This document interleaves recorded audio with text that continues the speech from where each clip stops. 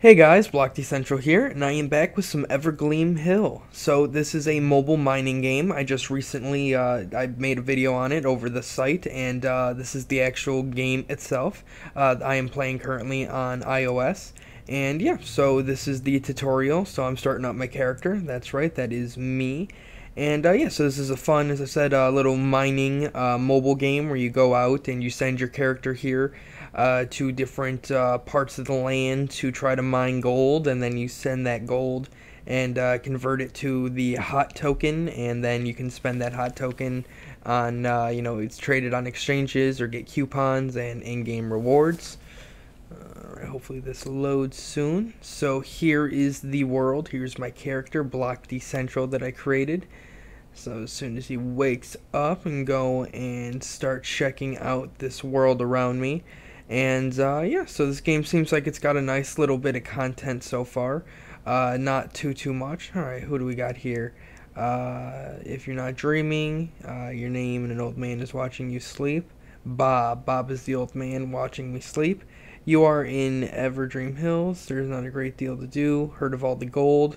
First, uh, you enjoy Evergreen Hills, Evergleam Hills. Uh, take good care of it. Uh, they look useful. Use your legs, obviously. You don't need to read too much into it, obviously, if you want to pause and read specifically all the tutorial, uh, you know, jargon. Great job moving around. You get to use your own interface. Uh, so, you know, just kind of the nice little basics of the game. Apparently, got some uh, in game coins. Uh, up here in the top right corner, you have the H token, that little gold round one. That's the hot token. So, uh, you go and you mine. Uh, you try to find gold. in the world where you go and mine at, and then you convert that gold to bars, and then you convert those bars into that hot token, and then that's the uh, that's the real currency. So that's how you make your uh, you know your real money, your actual fiat USD, you know Ethereum, Bitcoin, crypto, and uh, yeah. So this is the world of Evergleam Hill. Hmm, looks pretty expansive so far. You got some nice, uh, very uh, detailed 3D, you know, trees and hills. That's nice bridge. Ooh, water. Uh, so it looks like they, you know, spent a nice bit of time on the graphics of this game. Looks real nice so far. And from the site, it still said that it was coming soon. So uh, I'm sure that most of this game is still in development and being worked on. So you know, whatever I get a chance to check out, that'll be nice. Uh, gold, gold, gold. More about mining the gold. If you're smart, you can use the information. Uh, apparently, that's good. Let's take this one step at a time. I am Gold's Woman Sachs. I once made someone a millionaire just by blinking at their bank account. Lol. Uh, come to me when you want to mine or tap the map icon, whatever that means. And when you do, this happens. So this is our world. Here we got Evergleam Hill. We got, was that, Sierra Sciatua, Forest of Fortitude. Uh, apparently that's going to be where we're going to start heading off. There we got the amount of gold that is left. So apparently in this game there is a limited amount of gold that you can earn, and uh, that right there shows you the amount of gold in each of these uh, you know areas of the game. So I'm not sure exactly what happens once that hits zero. However, it appears that there's over 200 million gold left in it, so uh, that's going to take quite a while to hit zero. Uh, we still got 42 million on average around left in each one of these plots of land. Uh, that is a plot of land. That's where you'll be going to mine. Uh, like the regions, the amount of gold left. This is the cost of the cheapest ticket. Let's go. So we'll tap on this region and we'll go and check out this little area. Here we got the uh, tickets. So it looks like the cheapest one is 200 silver coins. And then it goes up into gems, of which I have none. Uh, there are many other dreamers there. Uh, this might be something. The odds of finding resources on the plot. So there's things other than gold that can earn in the game. There's crafting resources, clothing resources, uh, helper resources, a bunch of different um, things that you can use to make and build and craft and uh, add content to the game. Resources will be very important to you. Activities you need resources. So yeah, as you said, uh, little uh, other side things to add, you know, content and depth to this game. Uh, so most of that I don't think is out yet. However, we'll see. Uh, allows you to run around unsupervised with a pickaxe. Each plot has three potentials, uh, rent times.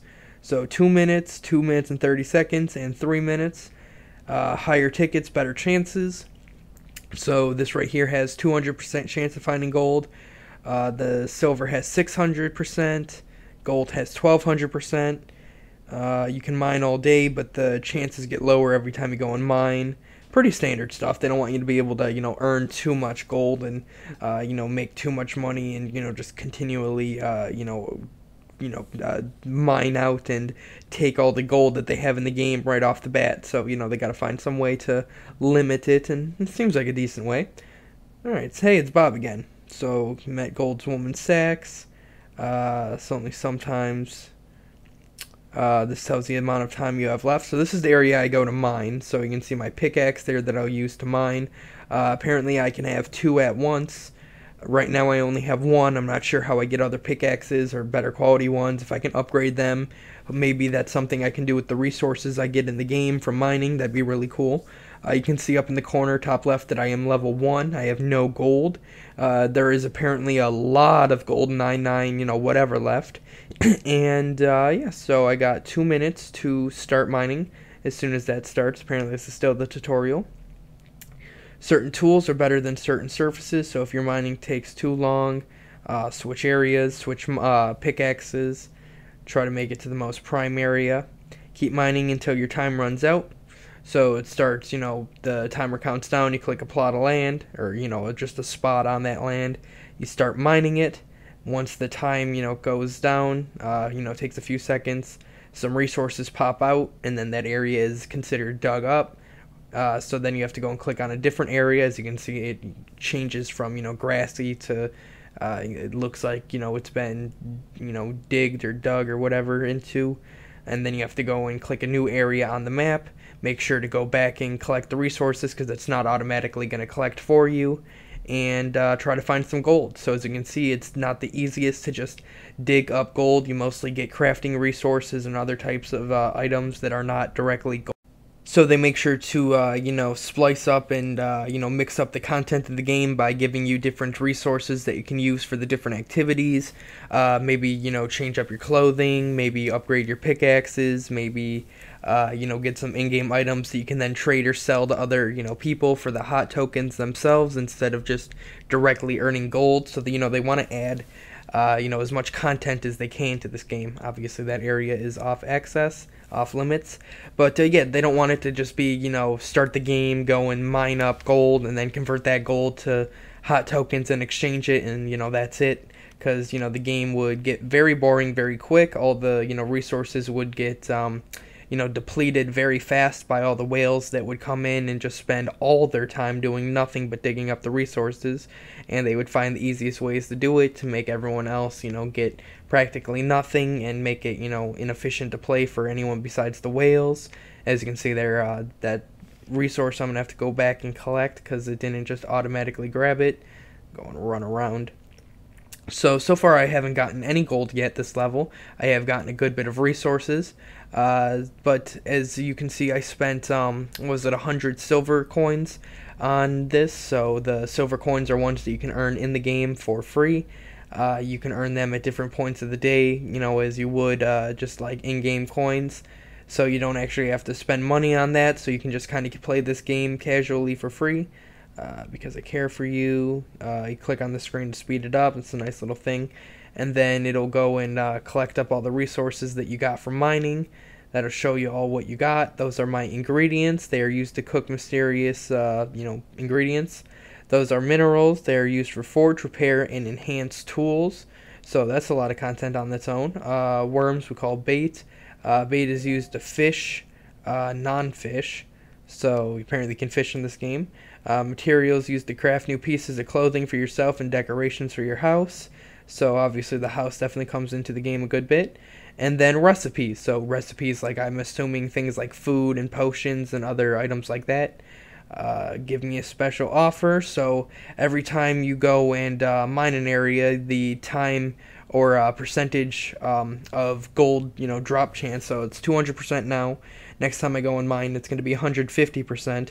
Uh, and then after that, it'll probably be like 100 and then 50% and get lower and lower. And then it resets every three hours. So that keeps you from just continuously going back and mining and, uh, you know, as I was saying, digging up all the gold right away. It, it definitely uh, makes you, you know, space it out and, uh, you know, consider uh, when you play this game and uh, you know, but makes you come back to it, uh, you know, day after day because you, you know, you can't just do it all at once and then, you know, be done. You have to, you know, repeatedly come back and play it. But, um, you know, as they add content, it's definitely going to be worth it. And uh, depending on the items that you can get with the hot tokens and from the in-game currency, uh, it should definitely be worth playing. I know I saw on the site that uh, they had things like watches and uh, tablets so as you can see, you click on the you know bag, click on the worm, and this is where you go and get free coins. Click on the stars and you get yourself some free coins. Uh, this is you know what you spend to get the um, get the tickets to go and mine. So then the stars will come and you know pop up. You have to click five of them, and then I got 67 coins. So I can spend that back on you know get myself another voucher, go out to the mine, uh, try to dig up some gold and then apparently I can do that a couple times per day. So, you know, just go back on repeatedly, collect myself some free coins, go and spend that in the mine, and uh, earn myself some resources. So that's pretty much it for this game. Go and check out some of the other things before I hop off, but that was pretty much, uh, you know, mining and um, the majority of the game at the moment. As you can see, go and check out other areas. The rest of it is pretty much closed. So, you know, hop over up in uh, up in the top area. We'll be checking on the next video. Uh, that's like the bank where you go and convert your, you know, gold to bricks into hot tokens and things like that. These are all the extra side shops that you'll spend your, uh, you know, in-game items and resources on. You know, clothing and upgrades and pickaxes and things like that. Uh, here is the map, the Evergleam uh, hills, uh, you know, just different parts of it. Uh, Green Nest Grove, the different areas. Some are still locked because of my level and things like that. Alright, so I think I'll just head back to my house and I'll end it here. That's pretty much it for this video. I hope you guys enjoyed. Don't forget to like, subscribe, comment, and share. Don't forget to check out our Patreon page.